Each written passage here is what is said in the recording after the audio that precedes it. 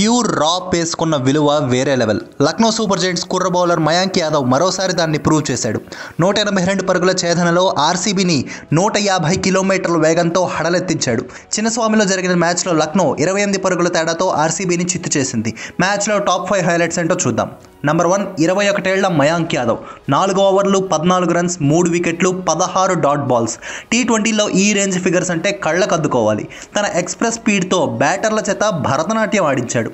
RCB middle order బ్యాటర్లా వెన్నెముక విరిచాడు. Number two Quinton de Kock కాస్త టూ పేస్ట్గా ఉన్న పిచ్పై సుదీర్ఘ ఇన్నింగ్స్ ఆడాడు. లక్నో నూట ఎనభై ఒకటి స్కోర్ చేయడంలో కీలక పాత్ర పోషించాడు. యాభై ఆరు బంతుల్లో ఎనభై ఒకటి స్కోర్ చేసి అవుట్ అయ్యాడు. Number three Nicholas Pooran de Kock ఓపెనింగ్తో మంచి పునాది వేస్తే డెత్ ఓవర్లలో నికోలస్ పూరన్ పూనకాలు వచ్చినట్టు రెచ్చిపోయాడు. ఆఖరి రెండు ఓవర్లలో ఐదు సిక్స్లు బాదాడు. నూట డెబ్బై లేదా అంతకన్నా లోపలే ఆగిపోతుందనుకున్న స్కోర్ను తన నలభై పరుగుల ఇన్నింగ్స్తో నూట ఎనభై ఒకటికి చేర్చాడు. నంబర్ ఫోర్ మహిపాల్ లోమ్రోర్ మయాంక్ యాదవ్ ధాటికి విలవెల్లాడిన ఆర్సీబీకి చిన్న హోప్ కల్పించింది ఇంపాక్ట్ ప్లేయర్గా వచ్చిన లోమ్రోరే మూడు ఫోర్లు మూడు సిక్స్లతో ముప్పై మూడు స్కోర్ చేశాడు. కానీ అప్పటికే జరగాల్సిన నష్టం జరిగిపోయింది. ఆర్సీబీని గెలిపించలేకపోయాడు.